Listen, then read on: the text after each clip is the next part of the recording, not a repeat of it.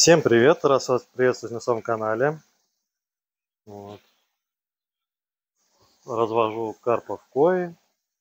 Вот, сейчас котел работает. Там температура 33-4 градуса. Все передается в пруд. Так вот, сегодня утром зашел, была температура воды 30... Ой, 30 это... 16,9 градусов. Ну, то есть он вечером, даже в обед погас котел, и, соответственно, температура в котле и в воде выровнялась в одинаковую. Вот, хотел сейчас показать, как кормлю рыбку, потому что рыбка уже давно кушает.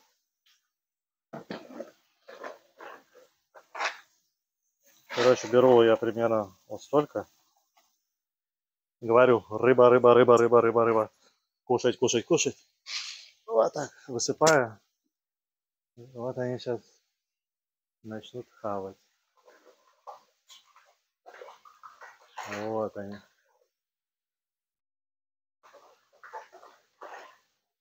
Красавчики.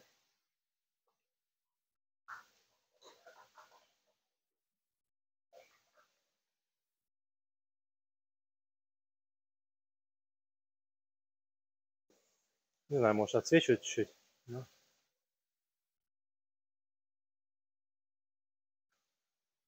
Первую порцию съели. Сейчас это проглотят и вторую начнут есть. Прошлого года остался у меня копинс. Че, удобно, хорошо. Ведерко насыпалось, а? Вот, так что так. А, Кое-что сейчас это... само, само произошла модернизация. Бушует. А, у меня же вот эта была штука, и она, короче, это, была закрыта. Ну, там, пережата, короче, вот этой хренью. Я ее открыл, и получается сейчас он пузыри. Если ее закрыть, пузыри меньше. Вот сейчас открою. Вот видите, сразу пузырей сколько много. И она прямо начинает дрожать, ну, всасывает, короче, воздух, всасывает воздух отсюда. И это насыщает воздух ну, кислородом воздухообмен идет, газообмен.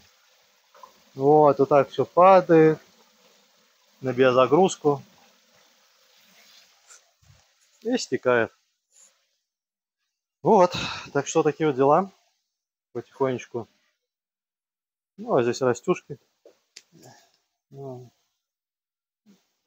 растут потихонечку. Короче, здесь тоже засадил петрушкой. Там укроп с зимы не прижился. Вот здесь, короче, посадил через каждый там 30-40 сантиметров э, низкий томат и огурец. Короче, будет чередоваться вот до сюда вот так. Вот. Так что так. Еще пока, видать, не проросли они. Вот. Ну вот это, блин, кажется, это шпинат растет откуда-то. У меня, оказывается, в прошлом году морковка здесь росла. А я думаю, что за странное это, как сказать, эти, зеленуха торчит. А это морковка, оказывается, у меня там была. Вытащил э, после зимы. Она такая нормальная, свеженькая. Хорошо в земле сохранилась. Вот. Может, это тоже от морковки идет. Хрен знает. Вот, короче, сейчас жду, когда начнут сходить помидорчики, огурчики. Какая-то зеленуха прет. Ну, сорняк, возможно. Вот, и сейчас откопал на улице шланг из-под земли. Сейчас, надеюсь, за сегодня оттает, и надо уже наливать пруд. Воды мало в пруду. Вон опустилась там, сантиметров на 18, на 20, а это, ну, достаточно много, это не полторы тонны, наверное. Вот, аж таких дела. А рыбку уже кормлю где-то месяц назад начал кормить. То есть вполне себе нормально. То есть сегодня у нас какой-то там марта, не знаю какой, но у меня уже вовсю рыба ест, растет. Котел уже он 38,5 градусов Сейчас эта заслонка начнет потихонечку прикрываться, когда он сильнее будет нагреваться. Вот. Эту я не закрываю наверху, потому что в нем конденсат образуется. Это же водяной котел, да? И получается вода здесь, ну, не больше 40 градусов прогревается, потому что отдает тепло через теплообменник пруд. Она сюда льется, здесь как бы ну, воздухообмен, газообмен происходит. Все тепло от э, воды отходит, да, в землю тепло уходит, потому что на улице-то снега вон там по колено. Вот. Поэтому из-за того, что холодная температура, там жар идет. И ну, сейчас попробую показать. Вот она горит. И видно вон нагар, да? И нагар особо-то не хочет слезать, даже если вот так горит. Вот. Поэтому я решил для себя, пускай лучше побольше дров, да, будет уходить.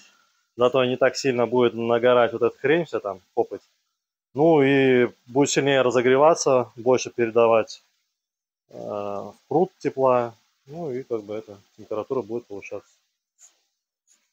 Вот, так что можно взять вот так пополивать чуть-чуть. Потому что сейчас солнышко светит.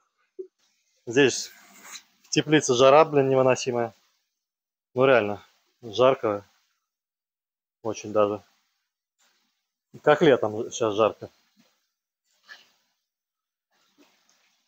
Вот. Помидорки польем. Помидорки посередине посажены с огурками.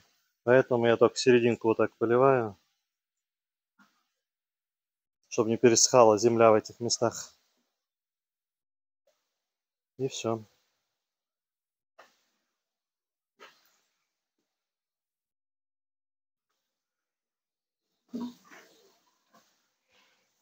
такие вот дела.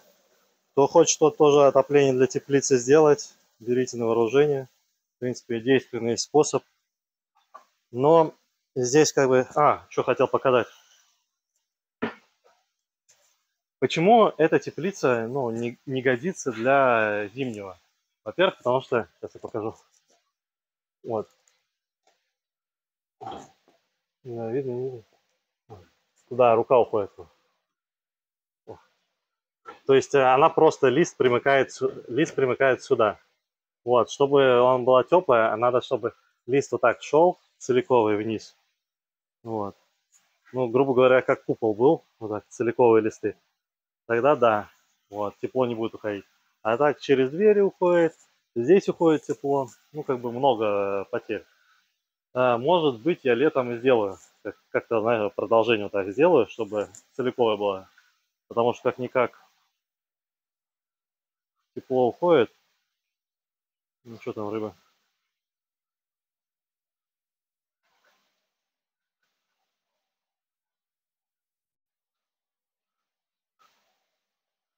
Лягушки ожили, прыгают.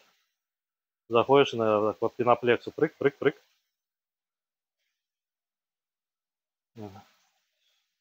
Все, наелись. Рыба наелась. Вот, такие дела пепел э, с котла сюда просто высыпаю, перекопаю это все, и будет вот как там. Все перекопано. Хочу виноград сюда посадить, вот сюда, сюда и туда, чтобы три винограда, ранний, средний и поздний. И хочу, чтобы он так вырос и мне закрыл, допустим, половина теплицы, чтобы здесь слишком жары не было. Потому что я особо летом а, дверь не открываю на проветривание. У меня из-за того, что много наливаю воды холодной из скважины, да, так как я ее беру на полив. Ну, не так сильно нагревается. То есть э, пруд, он как бы аккумулирует тепло. И здесь не так жарко. А этот, э, если виноград будет здесь расти вот так наверху, то не так здесь жарко будет. То есть он на себя будет удар принимать и будет расти. Расти и плоды давать. Ну вот, вроде все, что хотел сказать, все показал, что это, это пеноплексом закрыл, чтобы тепло не уходило вверх. И очень даже хорошо пеноплекс держит. Вот. Если есть вопросы, задавайте, с удовольствием отвечу. Не забывайте подписываться, чтобы видеть новые видео. Вот, и познавать, что-то видеть для себя полезное. Все, всем пока.